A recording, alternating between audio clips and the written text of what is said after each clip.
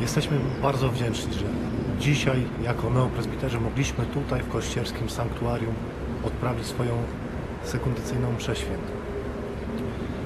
Dzisiaj przed obrazem Matki Bożej, Królowej Rodziny, zawierzyliśmy swoje kapłaństwo, swoje powołanie, powierzyliśmy jej swoją drogę, ale też podziękowaliśmy za nieustanną opiekę. Jesteśmy bardzo wdzięczni księdzu prałatowi, pustoszowi tego sanktuarium, że mogliśmy tutaj być, mogli, mogliśmy tutaj odprawić Eucharystię, że mogliśmy się wspólnie modlić.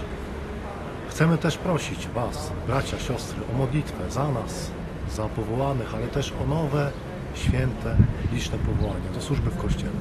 Za wszystko serdeczne Bóg zapłać.